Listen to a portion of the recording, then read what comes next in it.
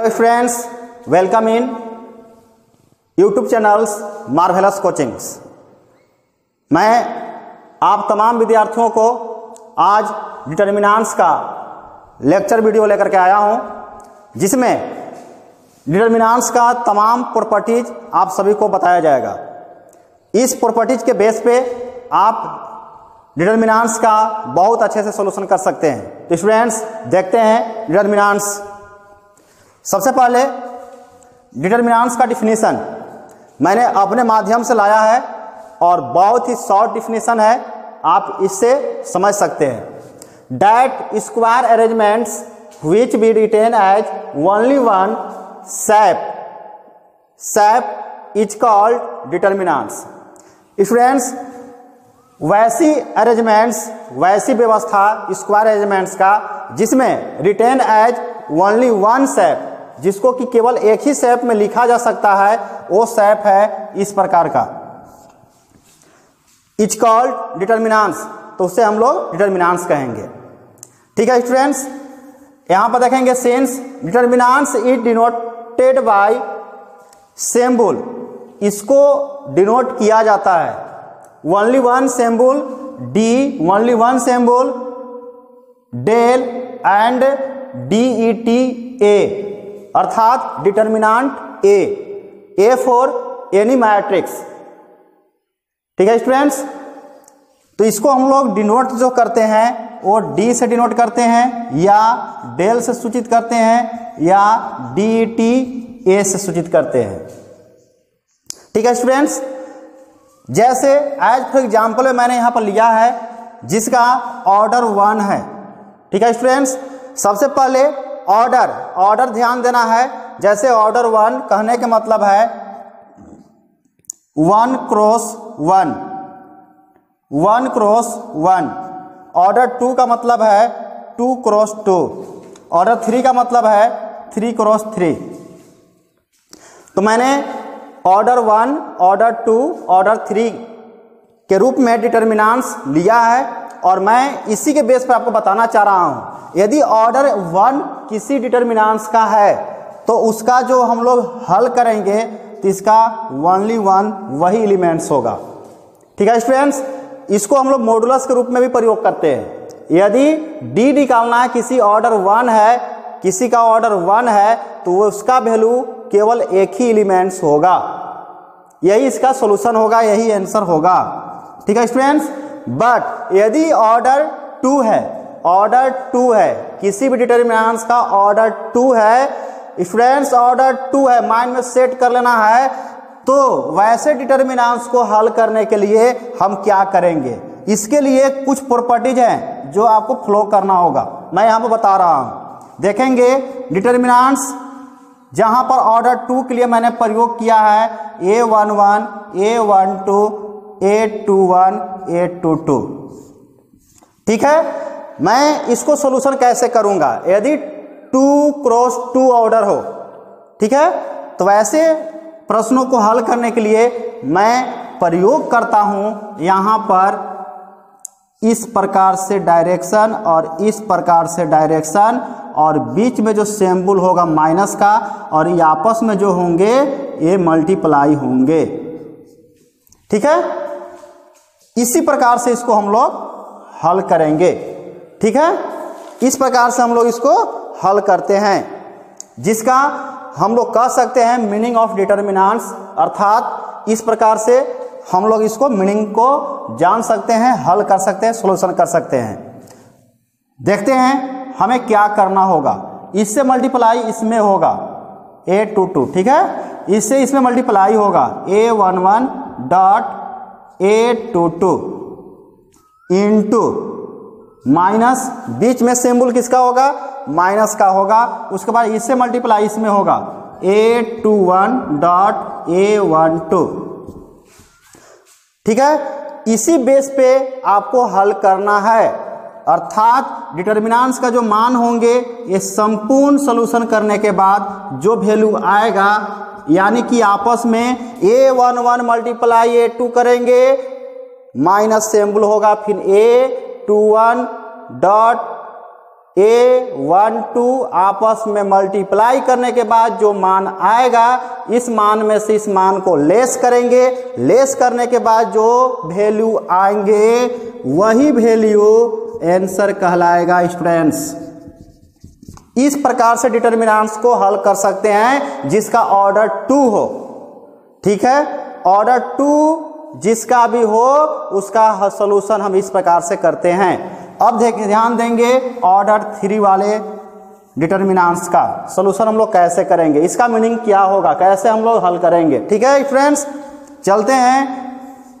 D जिसमें order three A one one A one two A one three A two one A two two A two three A three one A three two A three three इसे हल करने के लिए, इसका meaning जानने के लिए स्टूडेंट्स ध्यान देना होगा एक कॉन्सेप्ट पर, जो मैं यहाँ पर बता रहा हूँ। इसके लिए मैं एक प्रयोग करता हूँ सेम्बुल का, जिसमें plus minus plus minus plus minus plus minus plus ठीक है स्टूडेंट्स अर्थात कहने के मतलब है कि सबसे पहले प्लस होगा देन आफ्टर माइनस होगा।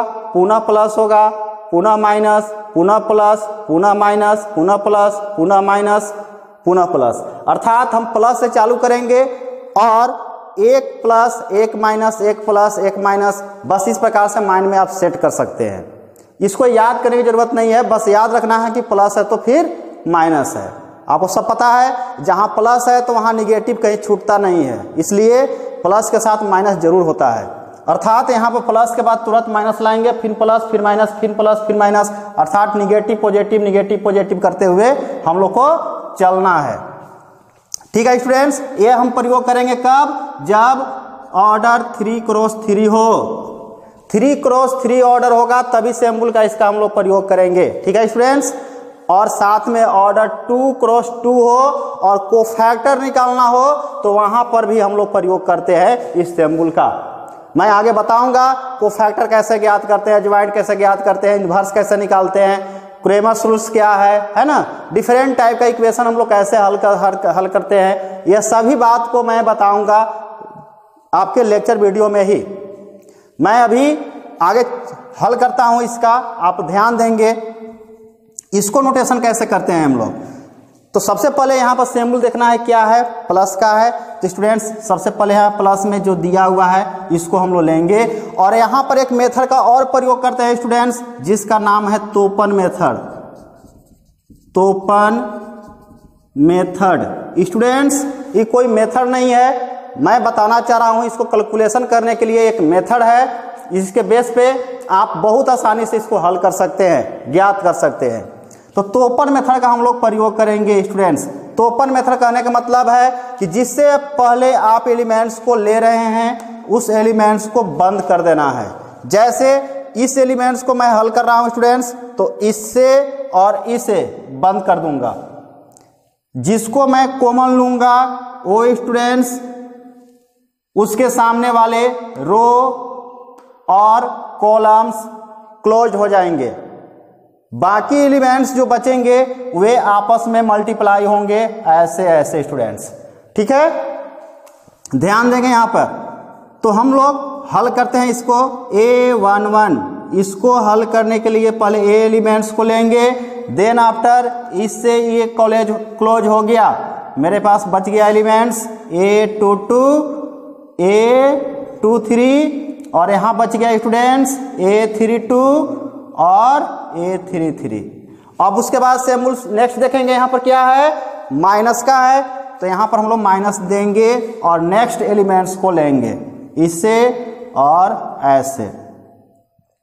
ये पूरे तो पा जाएगा, ये पूरे पूरे तोप आ जाएगा। मतलब स्टूडेंट्स ठेठ हिंदी में समझ लीजिए कि जो स्टूडेंट्स को ऐसे प्रश्नों को हल करना है वह एलिमेंट्स के जस्ट सामने और जस्ट सामने बंद कर देना है, क्लोज कर देना है देन आफ्टर जो बच गया उसी को राइट करके, लिख करके आपको हल करना है। ठीक? हम लोग चलते हैं again A one two symbol मैं प्लस के बाद माइनस का प्रयोग किया हूँ। उसके बाद देखें स्टूडेंट्स ये और एक क्लोज हो जाएगा तो बच जाएगा ए टू वन और यहाँ बच जाएगा ए टू थ्री और यहाँ हो जाएगा ए थ्री वन और यहाँ हो जाएगा ए थ्री थ्री ठीक है? नेक्स्ट स्टेप हम लेंगे अगेन सिंबल प्लस का और ए वन थ्री ठीक है स्टूडेंट्स ए वन थ्री जब लेंगे तो ए से ए तो पा जाएगा, पूरा क्लोज हो जाएगा। ये पूरे एलिमेंट्स ये पूरे एलिमेंट्स क्लोज हो जाएँगे, बच जाएँगे। A two one A two two और A three one A three two. ठीक है? यहाँ हल करने के बाद जो मान आएगा, वही डी का वैल्यू कहलाएगा। ठीक है स्टूडेंट्स सभी मान, जो मान आएँगे, इस प्रकार से आप डी ज्ञात कर सकते हैं। इसका मीनिंग है, इस प्रकार से हम लोग निकाल सकते हैं। ठीक है स्टूडेंट्स अब पुनः ये जो फॉर्म है, यह ऑर्डर टू के रूप में आ गया। और ऑर्डर टू को नोटेशन करने के लिए मीनिंग दिखाए थे कि किस प्रकार से इसको हम लोग डिनोट्स करते हैं कैसे हल करते हैं ठीक है? अब उसी बेस पे इसको हल कर लेंगे। ए वन वन अब यहाँ पर मोडुलस हटेगा कोस्ट आ जाएगा और इससे इस, इससे इसमें मल्टीप्लाई होगा। A two two dot A three three minus students इस सब में मल्टीप्लाई है। पता है ना? ये सब में मल्टीप्लाई है, इसलिए इसको महिला कोर्स से हम लोग दिखा दे रहे हैं। माइनस होगा देन आफ्टर अब इससे इस पे मल्टीप्लाई होगा। A three two dot A two three ठीक है?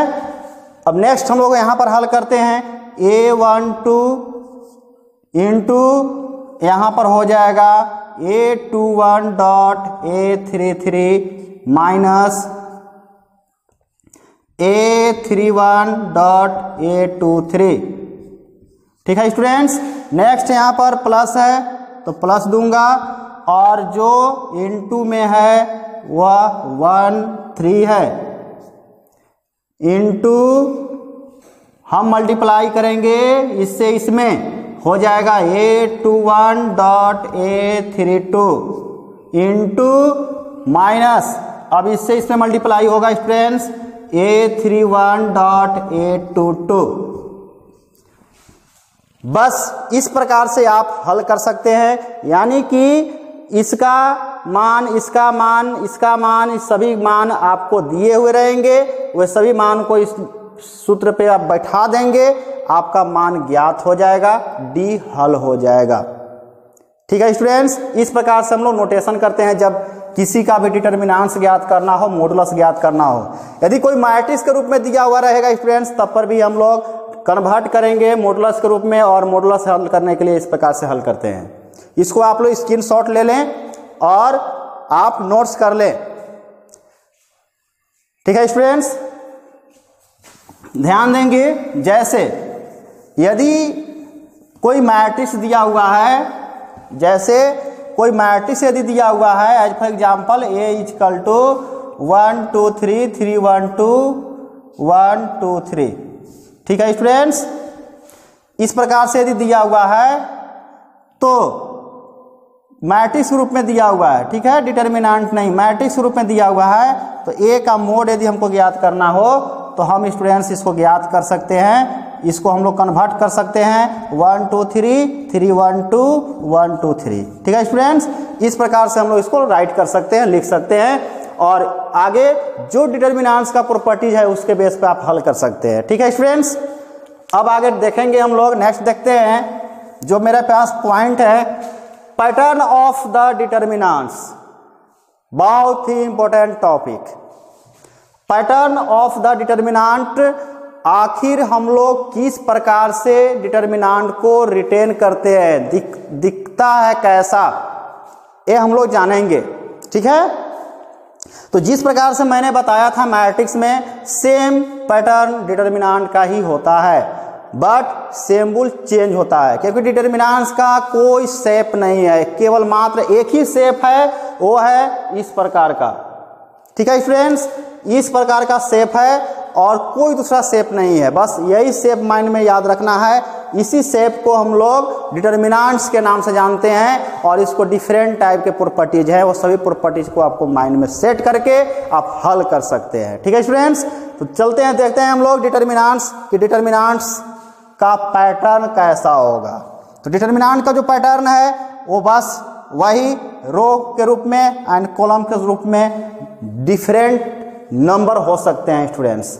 ठीक है? जैसे A one one A one two A one three A one N अर्थात एन जो यहाँ पर सूचित कर रहा है स्टूडेंट्स, रो की संख्या। कॉलम की संख्या। सॉरी स्टूडेंट्स, कॉलम की संख्या। क्योंकि इस ओर में बढ़ रहा है। ठीक है? और ऐसे संख्या हम लोग कॉलम्स को देखते हैं। जैसे यहाँ पर देख रहे हैं, कॉलम वन। इसमें जितना भी देखें इस सब में वैल्यू जो होगा, यहाँ पर देख रहे हैं वन वन वन वन यानी कॉलम वन यहाँ पर देखें students two two two two two अर्थात स्टूडेंट्स ये कॉलम टू हो गया। उसी प्रकार से यहाँ पर three three three three three column three उसी प्रकार से यहाँ पर एन एन एन एन यानी कॉलम एन हो गया। ठीक है? अब हम लोग ऐसे जो डायरेक्शन में चलेंगे तो इसको हम लोग रो बोलते हैं स्टूडेंट्स रो अब यहाँ पर जो फ़र्स्ट वैल्यू होगा वन वन वन वन यानी कि फ़र्स्ट वन यानी कि रो वन उसी प्रकार से टू टू टू यानी कि row two three three three row three M M M यानी कि रो एम जहाँ पर भी ऑर्डर के रूप में यदि एम क्रॉस एन दिया हुआ है स्टूडेंट्स तो याद रखेंगे कि जो फ़र्स्ट होता है वह रो होता है सेकेंड जो होता है, वो कॉलम्स होता है। ठीक है?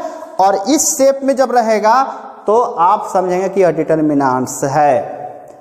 ठीक हम लोग डिफिनेशन के माध्यम से देखेंगे कि रो क्या है और कॉलम्स क्या है। और इसमें जो पैटर्न में जो एलिमेंट्स सब जो दिया हुआ है A one one A one one A one two A one three ये सबको क्या कहते हैं? तो स्टूडेंट्स मैं बताना चाहता हूँ कि इस प्रकार के जो डायरेक्शन देख रहे हैं, ऐसे, इसको हम लोग रो के नाम से जानते हैं। और इस प्रकार के जो डायरेक्शन है, इसको हम लोग कॉलम के नाम से जानते हैं।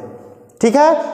बस चर्चा only one row and columns और इसमें जितने भी ये सब देख रहे हैं नंबर्स ये सभी नंबर्स एलिमेंट्स है। क्या है? एलिमेंट्स है। एलिमेंट्स के नाम से जानते हैं। हम लोग डिफिनेशन के माध्यम से जानेंगे स्टूडेंट्स कि रो किसे कहेंगे कॉलम किसे कहेंगे एलिमेंट्स किसे कहेंगे, ठीक है? तो सबसे पहले the horizontal arrangement of elements are called row वैसी व्यवस्था, वैसी अरेंजमेंट जो हॉरिजेंटल फॉर्म में एलिमेंट्स का अरेंजमेंट किया गया है, जो हॉरिजेंटल रूप में जो अरेंजमेंट किए गए एलिमेंट्स को ही हम लोग रो कहते हैं। ठीक है? The horizontal arrangement of elements एलिमेंट्सों का horizontal arrangement is called are called row वह रो कहलाता है। ठीक है students columns the vertical arrangement of elements are called columns वैसी अरेंजमेंट वैसी व्यवस्थाएँ जो एलिमेंट्सों का जो वर्टिकल फॉर्म में होता है, वह मेरा क्या कहलाता है? कॉलम्स कहलाता है। वह कॉलम्स कहलाता है। ठीक है फ्रेंड्स नेक्स्ट हम लोग देखेंगे एलिमेंट्स एलिमेंट्स किसे कहेंगे? ठीक है? तो एलिमेंट्स के लिए बस सेम प्रक्रिया है। The number the number in the arrangement are called elements arrangement में जितने भी नंबर्स हैं अरेंजमेंट में जितने भी नंबर्स हैं, ये सभी नंबर्स को हम लोग एलिमेंट्स कहते हैं। ठीक है स्टूडेंट्स? तो इस प्रकार से आपको पता हो गया होगा कि रो किसे कहेंगे, कॉलम्स किसे कहेंगे, एलिमेंट्स किसे कहेंगे। और पैटर्न ऑफ़ मैट्रिक्स और पैटर्न ऑफ़ डिटर्मिनांट्स क्योंकि टॉपिक चल रहा है डिटर्मिनांट्स का तो अब माइंड में सेटअप करेंगे कि पैटर्न ऑफ़ डिटर्मिनांट अर्थात only one sap and total elements इसमें इंक्लूड रहेंगे और उसी एलिमेंट्स को हम लोग रो कॉलम और साथ में एलिमेंट्स के रूप में व्यक्त कर सकते हैं। और इस प्रकार के जब सेप होगा और उसमें एलिमेंट्स रहेंगे तो सभी एलिमेंट्सों को हम लोग और इस व्यवस्था को डिटर्मिनांट के नाम से जाना जाता है स्टूडेंट्स ठीक है? और हम लोग देखें कि नोटेशन एंड इस प्रकार का सेम्बुल किस प्रकार का सेम्बुल डिटर्मिनांट का होता है तो डिटर्मिनांट का डी से सूचित करते हैं डेल से सूचित करते हैं और डी टी ए से सूचित करते हैं। ठीक है स्टूडेंट्स और जिसका ऑर्डर वन होगा तो उसका सोल्यूशन भी वही एलिमेंट्स होगा, वही केवल होगा मान। ठीक है? जिसका ऑर्डर टू होगा तो हम उसको बोलेंगे कि इसका सोल्यूशन के लिए इससे इसमें मल्टीप्लाई इससे इसमें मल्टीप्लाई और बीच में सेम्बुल माइनस का होगा। और ये दोनों आपस में मल्टीप्लाई होंगे, हल कर लेंगे, वही डी का मान कहलाएगा। ठीक है? और जब ऑर्डर थ्री होंगे तो इसके लिए हम लोग बताए कि तोपर मेथड का प्रयोग करते हैं और तोपर मेथड के माध्यम से एलिमेंट्सों को एक एक बंद करके, क्लोज करके, बाकी एलिमेंट्सों को नोटेशन करते हुए हम लोग हल करते हैं। ठीक है, स्टूडेंट्स? तो इस प्रकार से आपको समझ में आ गया होगा। इतना मैं, आगे मैं आपको बताना चाह रहा हूँ। ठीक है? तो स्टूडेंट्स, हम लोग देखेंगे डिटर्मिनांट्स का प्रॉपर्टीज़ जो सोल्यूशन करने के लिए हमको प्रयोग करना पड़ता है। जिसमें some important and fundamental properties of the determinants ठीक है students some important and fundamental properties of determinants हम विशेष करके डिटर्मिनांट्स का जो फंडामेंटल प्रॉपर्टीज़ है, जो मौलिक प्रॉपर्टीज़ है, मैं वैसी प्रॉपर्टीज़ को बता रहा हूँ। और इसी बेस पे आप हल कर सकते हैं। ठीक है? मैं इसके बाद आपको बताऊँगा डिटर्मिनांट्स का सोल्यूशन करने का मेथड क्या है। वर्किंग रूल्स ऑफ़ डिटर्मिनांट्स ठीक है? और उसी बेस पे संपूर्ण डिटर्मिनांट्स को आप हल कर सकते हैं। तो पहले हम लोग देखते हैं प्रॉपर्टीज़ कि डिटर्मिनांट्स का प्रॉपर्टीज़ है क्या। तो डिटर्मिनांट्स का प्रॉपर्टीज़ जो कहता है, जो स्पेशल है, उसको मैं कुछ लिखा हूँ। Some important and fundamental properties of the determinants ठीक?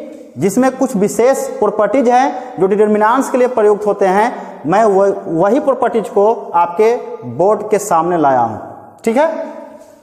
जिसमें फ़र्स्ट कहता है कि इफ़ पॉसिबल देन यदि पॉसिबल हो, तब taking common point in any row और any columns of the determinants यदि पॉसिबल है तो मैं किसी भी रो और किसी भी कॉलम से डिटर्मिनांट से मैं कॉमन ले सकता हूँ। ठीक है? जैसे एज फॉर एग्ज़ाम्पल यदि मान लिया जाए कि डिटर्मिनांट इजकल टू दिया हुआ है थ्री है सिक्स है टू है वन है। ठीक है स्टूडेंट्स अब यहाँ पर देख सकते हैं कि यहाँ पर थ्री है, यहाँ पर सिक्स है। अर्थात इस डायरेक्शन को मैं रो कहूँगा। यानी कि इस डायरेक्शन में रो और इस डायरेक्शन में रो इस डायरेक्शन में कॉलम्स इस डायरेक्शन में कॉलम ठीक है? तो आप फ़र्स्ट रो को देखेंगे। फ़र्स्ट रो को आप देखेंगे तो यहाँ पर थ्री यहाँ पर सिक्स है। इसमें कॉमन है। कॉमन स्टूडेंट्स किसे कहते हैं? पता है ना? कॉमन जैसे यदि टू प्लस सिक्स है, इसमें से कॉमन हमको लिखना है, लेना है तो इसको हम लोग लिख सकते हैं। इसको one multiply two plus two multiply three, अर्थात इसको गौर से देखें तो टू इसमें और टू इसमें दोनों में मिल रहा है तो इसी को हम लोग टैकिंग कर लेते हैं तो कॉमन कहलाता है। जैसे दो हम ले लेंगे तो वन प्लस थ्री, यानी दो मेरा कॉमन कहलाया, ठीक है? इसी बेस पे यहाँ पर हम लोग कॉमन लेंगे, ठीक है? जैसे, आप यहाँ पर देखें, हम कर सकते हैं इसमें टैकिंग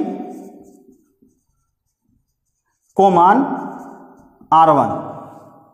आप देखेंगे फ़र्स्ट आर वन में टैकिंग कॉमन है। क्या कॉमन है? थ्री इसमें से हम थ्री कॉमन ले सकते हैं। तो जब थ्री कॉमन लेंगे स्टूडेंट तो तीन कॉमन हो जाएगा। यहाँ क्या बचेगा? वन बचेगा और टू हो जाएगा। टू वन ये ना होगा? इसको हम लोग सोल्यूशन करना चाहें तो क्या कर सकते हैं? थ्री तो थ्री रहेगा। इन टू है ना? इन टू अब इससे इसमें मल्टीप्लाई होगा, इससे इसमें मल्टीप्लाई होगा। क्योंकि डायरेक्शन बताए हैं, किस प्रकार से डायरेक्शन होता है। बीच में सिंबल माइनस का भी आपस में मल्टीप्लाई होता है। तो यहाँ पर क्या होगा? वन मल्टीप्लाई वन यानी कि वन हो जाएगा। माइनस टू मल्टीप्लाई टू तो फोर होगा, है ना? अब इसको हल कर लीजिए कोष्टक को तोड़ लीजिए। तो यहाँ पर थ्री मल्टीप्लाई वन में से माइनस फोर जाएगा तो माइनस थ्री अर्थात माइनस नाइन इसका आंसर होगा। ठीक है? तो डिटर्मिनांट का सबसे फ़र्स्ट प्रॉपर्टीज़ है कि आप किसी भी रो या किसी कॉलम से टैकिंग कॉमन ले सकते हैं। ठीक है स्टूडेंट्स? इसी प्रकार से यदि रहता है, यहाँ पर इस प्रकार से रहेगा। इसको मैं मिटा रहा हूँ, है ना? जैसे यदि इस प्रकार से रहता है तो आप कैसे कॉमन लेंगे? जैसे देखेंगे, डिटर्मिनांट इजकल टू वन है, टू है, फोर है और यहाँ पर ट्वेल्व है। ठीक है? आप बताएँगे कॉमन क्या होगा? तो कॉमन स्टूडेंट्स इसमें से हम देख रहे हैं कि रो में मेरा इस डायरेक्शन में रो में कॉमन नहीं है। इस डायरेक्शन में यहाँ पर हम लोग ले लेते हैं फाइव कर दे रहे हैं। ठीक है स्टूडेंट्स इस डायरेक्शन में हम लोग चलते हैं तो इस डायरेक्शन में भी कॉमन नहीं हो रहा है, परंतु कॉमन अब देखें ऐसे कॉलम्स में तो वन फाइव में कॉमन नहीं है, परंतु इसमें कॉमन है। है ना? तो हम यहाँ पर लिख सकते हैं taking taking, common C two कितना कॉमन ले रहे हैं? फोर ठीक है? इसमें से फोर कॉमन निकल जाएगा। तब क्या मान होगा? फोर कॉमन निकल गया। किससे निकाले हैं? सी वन से निकाले हैं। तो यहाँ पर वन फाइव सेम रहेगा। इसमें हो जाएगा वन और यहाँ चार कॉमन निकल गया बारह में से तो थ्री होगा। ठीक है स्टूडेंट्स अब इसको हम लोग हल करते हैं। तो फोर, अब यहाँ पर हो जाएगा थ्री माइनस फाइव। अब इसको पुनः हल कर लीजिए। तो फोर इंटू माइनस टू, क्योंकि थ्री में से फाइव जाएगा तो टू होगा। माइनस टू, क्योंकि इसका सिंबल माइनस का है। अब इसको मल्टीप्लाई कीजिए तो माइनस सेट यही इसका आंसर होगा। तो इस प्रकार से हम लोग कर सकते हैं कि रो में कैसे कॉमन लेंगे और कॉलम में हम लोग कॉमन कैसे लेते हैं। तो प्रॉपर्टी नंबर फ़र्स्ट आपको क्लियर हो गया होगा कि करना क्या है। सबसे पहले डिटर्मिनांट्स के कोई भी प्रश्न रहेंगे। वह ऑर्डर टू हो या ऑर्डर थ्री हो, किसी भी तरह का हो तो आप टैकिंग कॉमन कर सकते हैं। या डिटर्मिनांट का सबसे फ़र्स्ट प्रॉपर्टीज़ करता है। ठीक है? नेक्स्ट जो प्रॉपर्टी नंबर टू है, यह कहता है कि if every elements are zero if every elements are zero of any row किसका ज़ीरो तो किसी भी रो का तमाम एलिमेंट्स ज़ीरो ठीक है? एंड कॉलम एंड कॉलम और किसका? कॉलम का। यदि रो और कॉलम्स के किसी भी रो रोज में या कॉलम्स में टोटल एलिमेंट्स यदि ज़ीरो होते हैं ज़ीरो हैं इन डिटर्मिनांट्स किसमें? डिटर्मिनांट्स में देन। तब इट्स सॉल्यूशन भी ज़ीरो तो उसका मान क्या होगा? ज़ीरो होगा। उसका वैल्यू ज़ीरो होगा। जैसे स्टूडेंट्स यहाँ पर देखेंगे एज फॉर एग्ज़ाम्पल ठीक? जैसे यदि मैं डिटर्मिनांट्स ले रहा हूँ, है ना? यहाँ पर ले लिया टू है थ्री है फोर है वन है टू है थ्री है ज़ीरो ज़ीरो ज़ीरो ठीक, इस प्रकार के यदि प्रश्न दिए हुए हैं, ना, और पूछेगा कि इसको फाइंड आउट कीजिए, हल कीजिए सोल्यूशन कीजिए तो स्टूडेंट्स कुछ नहीं करना है इसको, क्योंकि यहाँ पर ऑल एलिमेंट्स देख रहे हैं, है ना? यहाँ पर लिख सकते हैं कि रोज थ्री, ना, rows three all element all elements are zero. ठीक। सो सॉल्यूशन भी ज़ीरो। सॉल्यूशन में क्या होगा? ज़ीरो होगा, अर्थात हम लिख सकते हैं डी बराबर कितना वैल्यू होगा? ज़ीरो। आप देख रहे हैं यहाँ पर कि जो रो है टोटल एलिमेंट्स ज़ीरो है प्रॉपर्टीज़ कहता है डिटर्मिनाट का, कि किसी भी डिटर्मिनाट में यदि टोटल एलिमेंट्स रो का यदि ज़ीरो हो जाते हैं तो उसका वैल्यू ज़ीरो होगा। क्लियर इसी प्रकार से कॉलम्स में भी, जैसे डिटर्मिनाट्स हम लोग ले रहे हैं एग्ज़ाम्पल में one two three four five six zero zero zero ठीक है? तो बताएँगे कि यहाँ पर क्या है? C one C one C three ना? One two three C three all element are zero इसमें टोटल मान क्या है? ज़ीरो सो सॉल्यूशन भी ज़ीरो तो इसका भी मान क्या हो जाएगा? ज़ीरो हो जाएगा, यानी कि डी इजकल टू क्या होगा? ज़ीरो, यही आंसर ठीक, यानी कि आपको सेकेंड नंबर जो प्रॉपर्टीज़ था ये प्रॉपर्टीज़ आपको पता हो गया होगा कि करना क्या है। है ना? ऐसे प्रॉपर्टीज़ नंबर टू में हमको ध्यान देना है कि हमेशा रो के ऑल एलिमेंट्स यदि ज़ीरो हैं तो उसका मान ज़ीरो होगा। कॉलम्स के ऑल एलिमेंट्स ज़ीरो हैं तो ज़ीरो होगा। एक ये डिपेंड नहीं करता है, केवल यहीं ज़ीरो हो, है ना? ये यहाँ भी ज़ीरो हो सकता है, यहाँ भी ज़ीरो हो सकता है, सभी में कहीं भी हो सकता है। परंतु दो एलिमेंट्स ज़ीरो ना हो, दो रो ज़ीरो ना हो, है ना? कोई भी एक एलिमेंट्स ज़ीरो हो। केवल एक रोज पूरा ज़ीरो हो, ठीक है? तो वैसे कंडीशन में हमेशा ज़ीरो होगा। या पूरे कॉलम्स ज़ीरो हो तो ज़ीरो होगा। Clear next property number three आप देखेंगे, कहता है इन एनी डिटर्मिनांट्स कोई भी डिटर्मिनांट्स में इफ़ टू रो दो रो ऑफ़ टू कॉलम्स और दो कॉलम्स आर सेम क्या हो? सेम हो. अकॉर्डिंग एज नंबर वह नंबर से. नंबर के अनुसार वे नंबर से यदि सेम हो, दो रो या दो कॉलम्स आपस में सेम हो देन इट सोल्यूशन भी ज़ीरो तो उसका भी मान क्या होगा? ज़ीरो होगा. तो उसको आगे हल करने की कोई ज़ीरो ज़रूरत नहीं है। आप वहीं से आप बता सकते हैं कि इसका वैल्यू क्या हो जाएँगे? ज़ीरो हो जाएँगे। क्लियर वहाँ पर लिख देंगे कि बाई प्रॉपर्टीज़ क्लियर प्रॉपर्टीज़ कहता है कि वैसे दो रो या दो कॉलम्स आपस में यदि बराबर हो तो उसका वैल्यू ज़ीरो होगा। क्लियर जैसे, आज फॉर एग्जांपल आप देखेंगे यहाँ पर। एग्ज़ाम्पल डिटर्मिनांस इजकल टू मैंने ले लिया है। ऐसे वन है टू है थ्री है। One two three one two three यहाँ पर हम ले रहे ले रहे हैं four five six four five six four five six ठीक है? यहाँ पर हम ले रहे हैं one two three one two three one two three आप इसको गौर से देखेंगे स्टूडेंट्स ठीक? यहाँ पर 123 है 123 है 123 है। चार सौ छप्पन, चार सौ छप्पन, चार सौ छप्पन, एक सौ तेईस, एक सौ तेईस, एक सौ तेईस। ठीक? तो इसमें क्या है? आर वन और आर टू आपस में क्या है? बराबर है। यानी हम लिख सकते हैं R one is equal to R two. आपस में क्या है? बराबर है। सो, डिटर्मिनांट का वैल्यू क्या होगा? ज़ीरो हो जाएगा। यानी कि दो रो आपस में क्या है? सेम नंबर है। यानी कि 123 यहाँ भी, सभी में, यहाँ भी 123 सेम। बाकी एक रो जो है डिफरेंट है तो ऐसे में क्या होंगे? ज़ीरो होंगे। क्लियर फिर पुनः ध्यान देंगे। जैसे डिटर्मिनांट इजकल टू दिया हुआ है। One two three four one two one two three one two three four five six one two three one two three four five six two three one two three one four five six. ठीक है? हाँ यहाँ पर are three होगा ना? ठीक है? क्योंकि इसको हम लोग आर वन कहेंगे ये मेरा आर थ्री है। यहाँ पर क्या होगा? आर थ्री होगा। ठीक है? R one is equal to R three. Clear? अब यहाँ पर ध्यान देंगे कि यहाँ पर भी मैं सुधार दे रहा हूँ। One two three.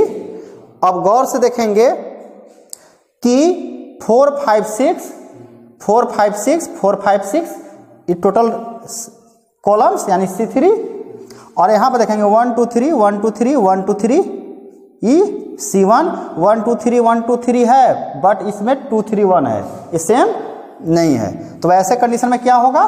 Column C one is equal to C three ठीक? सो डी इजकल टू क्या हो जाएगा? ज़ीरो इस प्रकार से आप कर सकते हैं, हल कर सकते हैं। है ना? यदि इस प्रकार कहीं प्रश्न दिया हुआ है एक्सरसाइज में तो आपको इसको सोल्यूशन करने की ज़रूरत नहीं है। आप डायरेक्ट उसका आंसर क्या लिख सकते हैं? ज़ीरो लिख सकते हैं। यह डिटर्मिनांट के प्रॉपर्टीज़ कहता है। क्लियर नेक्स्ट प्रश्न आपके बीच जो प्रॉपर्टीज़ के रूप में है, जो हमेशा प्रयोग किया जाता है, वो प्रॉपर्टीज़ नंबर फोर है। ठीक है? ध्यान देंगे। If any determinant if any determinant किसी भी डिटर्मिनांट में यदि have form the flow then its solution भी flow if any determinant have form the form भी फ्लो देन इट्स सॉल्यूशन भी फ्लो ठीक है? किसी भी डिटर्मिनांट में इस प्रकार के यदि फॉर्म दिया हुआ है, ना तो हम वहाँ सॉल्यूशन भी फ्लो यानी कि उसका सॉल्यूशन भी इस प्रकार से फ्लो करेंगे। यदि इस प्रकार के क्वेश्चन दिया हुआ है है ना? तो उसका सोल्यूशन हम इस प्रकार से लिखेंगे। क्लियर यानी करना, किया क्या है इसमें? सोचिए। किया क्या है? तो सबसे पहले किस प्रकार से दिया हुआ है? डबल एलिमेंट्स ज़ीरो है। डबल एलिमेंट जहाँ ज़ीरो है, उसके सामने एक एलिमेंट्स यहाँ देखिए एक्स जो है, वो खाली है। है ना? तो यहाँ पर जो भी एलिमेंट्स खाली है मैं इसी को जस्ट तोपूँगा इधर से और इधर से ठीक है? है ना? अब ए एलिमेंट्स कॉमन हो जाएँगे और बाकी ए ए ए ए यहाँ पर रिटेन हो जाएगा ठीक है? और बाकी एलिमेंट्स जब ज़ीरो है तो कोई उसका आगे अस्तित्व नहीं है तो, तो सब ज़ीरो हो जाएगा। क्योंकि आप डिटर्मिनांस के जो हम रूल्स बताए थे पीछे मॉडुलस ज्ञात करने के लिए तो वहाँ पर क्या बोले थे? कि ए इंटू में होगा, इसको यदि एलिमेंट्स को यदि हम लेते हैं तो यह इंटू में होगा ए कट ए कट ए ए बचेगा तो फिर ज़ीरो से जब मल्टीप्लाई होंगे तो सब तो वैल्यू ज़ीरो हो जाएगा। ठीक, उसी प्रकार से इसको लेंगे तो पुनः ज़ीरो से मल्टीप्लाई हो, सब ज़ीरो हो जाएगा। परंतु बचेगा क्या? तो यहाँ पर आपको हम बताए भी थे कि सबसे पहले प्लस होता है, फिर माइनस होता है, फिर प्लस होता है। ठीक है? तो यहाँ पर क्या? प्लस में ही रहेगा। अब एक्स ले लिए ई कट ई कट पूरे कट गया तो A B A one B one बच गया। ठीक है? उसी को यहाँ पर मैंने राइट कर दिया है X A B A one B one यानी कि इस प्रकार से आप उसका हल कर सकते हैं। आज फॉर एग्ज़ाम्पल जैसे देखेंगे ना, जैसे दिया हुआ है टू जैसे दिया हुआ है ज़ीरो ज़ीरो टू है ना? One two three four five six ठीक? D is equal to E दिया हुआ है। हमको इसका सोल्यूशन करना है। तो सोल्यूशन करना है तो हमको कुछ नहीं करना है इसमें। बस प्रॉपर्टी से चल देंगे। प्रॉपर्टीज़ क्या कहता है? डबल ज़ीरो है तो दो जो है से बाहर निकल जाएगा और ई पूरे कट, ई पूरे कट, यहाँ बच जाएगा क्या? वन टू फोर फाइव है ना? अब पुनः डिटर्मिनांट सोल्यूशन का प्रयोग कर लेंगे। ठीक है? तो टू तो टू रह जाएगा। यहाँ पाँच एक से पाँच में गुना होगा तो पाँच होगा माइनस दो से, चार से दो में तो आठ होगा। अब यहाँ क्या हो जाएगा? टू मल्टीप्लाई माइनस थ्री यानी तीन दुना का छः माइनस छः भी आंसर हो जाएगा। है ना? इस प्रकार से आप सोल्यूशन कर सकते हैं। प्रॉपर्टीज़ नंबर फोर भी आपको क्लियर हो गया। बना सकते हैं कि किस प्रकार से बनाना है। क्लियर अब देखेंगे properties number five determinant solution करने का प्रॉपर्टीज़ नंबर फाइव कैसे हम लोग करेंगे। नेक्स्ट एंड लास्ट प्रॉपर्टीज़ है। कहता है कि इफ़ पॉसिबल देन यदि पॉसिबल है applied interchange form between rows and columns of the determinants यदि पॉसिबल है तो हम रो को चेंजिंग कर सकते हैं रो में एंड कॉलम्स को चेंजिंग कर सकते हैं कॉलम्स में। ठीक है? कैसे चेंजिंग करेंगे? सो यहाँ पर देखेंगे। है ना? इसको मिटाते हैं। एक बार आप लोग इसको ले लीजिए। जूमिंग कर लीजिए और अपने नोट्स बुक में नोट्स कर लें। ठीक है? चलिए इसको मिटाते हैं, है ना? देखेंगे। लास्ट प्रॉपर्टीज़ लास्ट प्रॉपर्टीज़ कहता है इंटरचेंज फॉर्म एक इफ़ पॉसिबल यदि पॉसिबल है तो हमको इंटरचेंज कर सकते हैं। Row to row and columns to columns जैसे as for example D is equal to मैंने लिया है A B C A one B one C one A two B two C two ठीक है? तो हम लोग इसको ट्रांसफ़र कर सकते हैं। जैसे, यदि हमको R1 के जगह पर लाना है R2 करना है तो R2 के जगह पर R1 इस प्रकार के सैंपल का हम लोग प्रयोग करेंगे। रिवर्सेबल रिएक्शन जिसे नहीं पढ़े हैं केमिस्ट्री में, है ना? उसी प्रकार से यहाँ पर हम लोग चेंजिंग करते हैं इंटरचेंज करते हैं, इसी को बोलते हैं इंटरचेंजिंग फॉर्म है ना? जैसे R1 के जगह पर R2 कर दिए, अब R2 जगह पर R1 कर दिए। यहाँ पर हम इस प्रकार से सैंपल का प्रयोग करेंगे, ठीक है? जैसे इसको यदि हम हल करते हैं, तब क्या हो जाएगा? R1 आ गया R2 पर R2 चल गया R1 पर। तो यहाँ जाएगा A one B one C one A B C A two B two C two ठीक है? इस प्रकार से इंटरचेंज कर सकते हैं, है ना? आप किसी भी तरह से कर सकते हैं। इसको इंटरचेंज कर सकते हैं R2 R3 में और R3 R2 में, है ना? किसी भी तरह से कर सकते हैं। आप समझ गए होंगे? इसी प्रकार से सेम कंडीशन कॉलम चेंजिंग भी कर सकते हैं। जैसे C1 को C2 में हमको चेंजिंग करना है। C1 को C2 में चेंजिंग करना है। तो अब बताइए ये तो था क्या? R1 था R2 था, और ये R3 था। ये बताएँगे, ये C1 था, ये C2 ये C3 हमको चेंजिंग क्या करना है? C1 को C2 में और C2 को C1 में। तो आप देखें, ये आ जाएगा कहाँ? C2 आ जाएगा यहाँ। यानी कि B B1 B2 A A1 A2 ठीक है? और जहाँ C है C3 है, उसको मैंने कोई चेंजिंग नहीं किया है तो वही रहेगा। यानी कि C C1 C2 ठीक है? इस प्रकार से चेंजिंग कर सकते हैं। इसी को हम लोग कन्वर्ट ऐसे भी कर सकते हैं C2 को कर सकते हैं। C3 में या C2 को हम लोग चेंजिंग कर सकते हैं C1 में, है ना?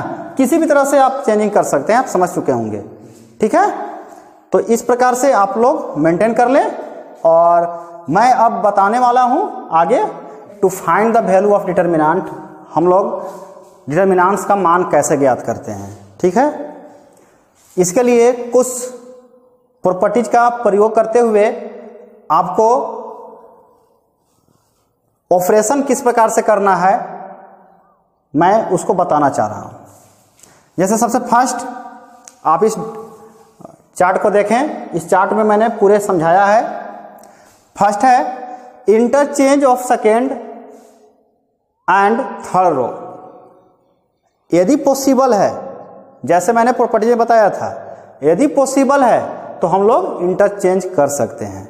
इंटरचेंजिंग करने के लिए हम लोग इस प्रकार से रिटेन कर सकते हैं और उसका सिंबॉलिक हम लोग इस प्रकार से दिखा सकते हैं।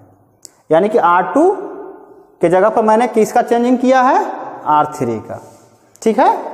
अर्थात interchange of second and third row clear next है। कॉलम्स में कैसे करेंगे हम लोग? तो interchange of first and third columns हम लोग चेंजिंग कर रहे हैं किसका? कॉलम्स का। थर्ड और फ़र्स्ट का, है ना? थर्ड और फ़र्स्ट करेंगे तो समझ रहे हैं ना? जैसे डिटर्मिनांट के लिए A B C A one B one C one A two B two C three मैं बात कर रहा हूँ फ़र्स्ट और थर्ड का। तो हम लोग चेंजिंग करना हो तो हम लोग कर सकते हैं इसके जगह पर इसको, अब इसके जगह पर इसको। ठीक है? यदि आप सोल्यूशन कर रहे हैं और सोल्यूशन करते समय यदि आपको लगता है कि ऐसे करने से मेरा सोल्यूशन अच्छा से हो सकता है तो हम लोग इंटरचेंजिंग कर सकते हैं कॉलम्स में या रो में। आप या तो कॉलम से चल सकते हैं, या तो रो से चल सकते हैं। जिससे चलना होगा, संपूर्ण सोल्यूशन तक उसी प्रक्रिया से चलते रहना होगा, है ना? नेक्स्ट है multiplying each elements of second row by minus five मैंने क्या कर दिया है कि मल्टीप्लाइंग ईच एलिमेंट्स मैंने सभी एलिमेंट्स में मल्टीप्लाई कर दिया है ऑफ़ सेकेंड रो किसका? सभी रो में। आप ध्यान रखेंगे स्टूडेंट्स कि जब भी मल्टीप्लाई होगा तो रो में मल्टीप्लाई कर रहे हैं तो इसमें भी इसमें भी इसमें भी मल्टीप्लाई होगा। परंतु सिंगल एलिमेंट्स के साथ मल्टीप्लाई नहीं होता है ना? याद रखेंगे, जैसे केवल यहाँ माइनस फाइव से मल्टीप्लाई हम लोग नहीं कर सकते हैं। जब भी मल्टीप्लाई होगा तो रो में ही होगा तो संपूर्ण एलिमेंट्स में होगा। क्लियर तो जैसे यहाँ पर मल्टीप्लाई मैंने कर दिया है R2 में माइनस फाइव से R2 यानी कि R2 जितना भी है, सभी में माइनस फाइव से मल्टीप्लाई हो, कर सकते हैं हम लोग। यदि पॉसिबल है तो। नेक्स्ट यहाँ पर लिखे हैं multiplying each elements of first columns by one by three हमको यदि पॉसिबल है, हल करना है तो मल्टीप्लाई कर सकते हैं। C1 में भी, जैसे मैंने यहाँ पर मल्टीप्लाई करके दिखाया है यदि C1 में वन बाई थ्री से मल्टीप्लाई करना है तो उसके लिए हमको कैसे नोटेशन करना होगा? तो यहाँ पर हमने C1 की जगह पर क्या कर दिया है? One by three C one यानी कि C1 में वन बाई थ्री से मल्टीप्लाई हो गया। ठीक? Multiplying each elements of third row by six and adding E two B two the corresponding elements of second row ठीक है? मैंने क्या किया है कि सेकेंड रो में सेकेंड रो को एडिंग करते हुए, ना थर्ड रो में सिक्स से मल्टीप्लाई किया है।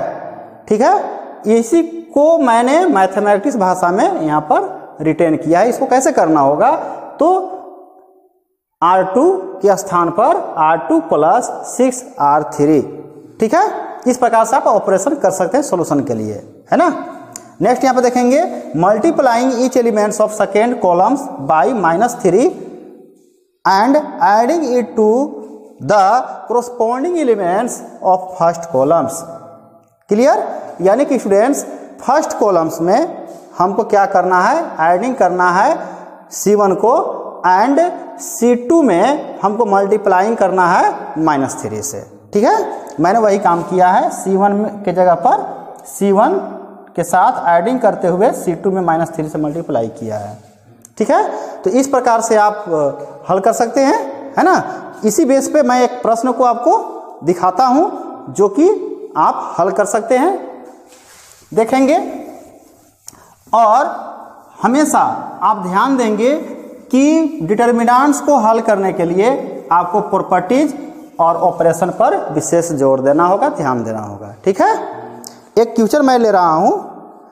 कहता है first question evaluate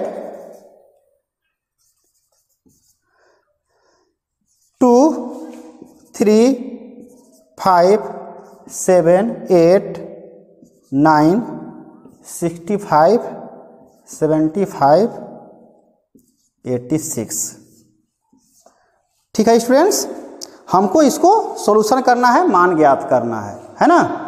तो हम क्या करेंगे कि ताकि इसका वैल्यू ज्ञात हो सकता है?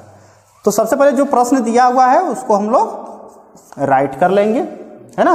जो प्रश्न दिया है, यानी कि डी बराबर दिया हुआ है टू है थ्री है फाइव है सेवन है एट है नाइन है सिक्सटी फाइव है सेवेंटी फाइव है एटी सिक्स है। ठीक है? अब आप सोचें, सबसे पहले प्रॉपर्टीज़ के बारे में सोचें कि वो प्रॉपर्टीज़ यहाँ पर लागू हो रहा है कि नहीं, है ना? आप कंडीशन को समझें। दिमाग को स्थिर करते हुए आप सोचिए कि क्या कर सकते हैं। सबसे पहला प्रॉपर्टी बताए थे इंटरचेंजिंग इंटरचेंजिंग से कोई फ़ायदा यहाँ पर नहीं है। आपस में दो एलिमेंट्स बराबर हैं। आपस में दो एलिमेंट्स आपस में दो रो बराबर हैं या दो कॉलम्स बराबर हैं? नहीं है। नहीं ना है? किसी भी डिटर्मिनांस के सभी एलिमेंट्स ज़ीरो तो नहीं है। ज़ीरो नहीं कर सकते हैं। तो जो हम छह प्रॉपर्टी बताया था, पाँच प्रॉपर्टी जो बताया था वह पाँचों प्रॉपर्टीज़ में से कोई प्रॉपर्टीज़ यहाँ पर लागू हो रहा है, नहीं हो रहा है। नहीं हो रहा है तो अभी जो मैंने ऑपरेशन करने के आपको बताया, है ना, उस ऑपरेशन करने के बाद उसमें से कोई ना कोई एक प्रॉपर्टी इसमें लागू हो जाएगा। ठीक है? मैं इसीलिए इस प्रश्न को लिया है कि आपको ये भी पता चल जाए, वो भी पता चल जाए। जैसे आप देखेंगे, ना, यहाँ पर देखेंगे, जैसे यदि कॉलम्स इसको हम लोग क्या कहेंगे? ये है आर वन ये है आर टू ये है आर थ्री ये सी वन ई क्या है? सी टू और ये सी थ्री है ना? तो आप यहाँ पर देखेंगे, यहाँ पर हमने कोई काम कर रहा हूँ, ठीक ना? यानी कि सी थ्री के स्थान पर, किसके स्थान पर? सी थ्री के स्थान पर C three minus nine C two कर रहा हूँ। नाइन सी टू करने से मेरा क्या फ़ायदा होगा स्टूडेंट सोच सोचेंगे। जैसे नौ से यदि गुना करते तो नौ सत्य कितना हो जाएगा? तिरसठ। नौ गुने सात तिरसठ होगा, और पैंसठ में से तिरसठ जाएगा तो कितना बच जाएगा? दो। यहाँ पर ये वाला ये वाला दोनों सेम हो जाएगा। फिर यहाँ देखिए, नौ से गुना करेंगे तो नौ अठे बहत्तर, पचहत्तर में से बहत्तर जाएगा तो तीन। बराबर हो गया। फिर देखिए, नौ नौ, इक्यासी है कितना है? छियासी। छियासी में से इक्यासी जाएगा तो कितना बच जाएगा? पाँच। यानी कि ये और ये दोनों बराबर हो जाएगा। तो जहाँ दो एलिमेंट्स दो कॉलम्स यदि आपस में बराबर हैं तो क्या होगा उसका वैल्यू ज़ीरो है ना? तो हम इस प्रकार से हल कर सकते हैं। ठीक है? ऐसे करने से क्या मेरा बन जाएगा?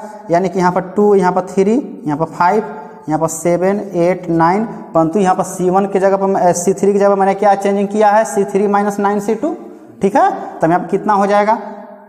पैंसठ है और नौ सत्य तिरसठ तिरसठ में से गया पैंसठ तो यहाँ कितना हो जाएगा? दो। यहाँ हो जाएगा नौ, अठे बहत्तर, पचहत्तर तो तीन।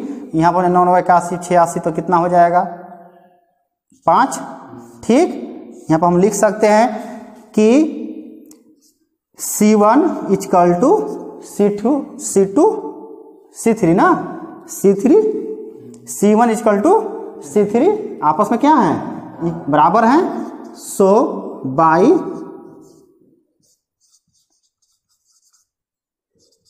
प्रॉपर्टीज़ प्रॉपर्टीज़ के अनुसार क्या हो जाएगा? डिटर्मिनांट इजकल टू ज़ीरो यानी इसका मान क्या हो जाएगा? ज़ीरो इस प्रकार से आप हल कर सकते हैं, है ना? मैं अगले क्लास में इससे संबंधित विभिन्न प्रकार के जो एक्सरसाइज के प्रश्न हैं, वे सभी प्रश्नों को मैं हल करूँगा, है ना?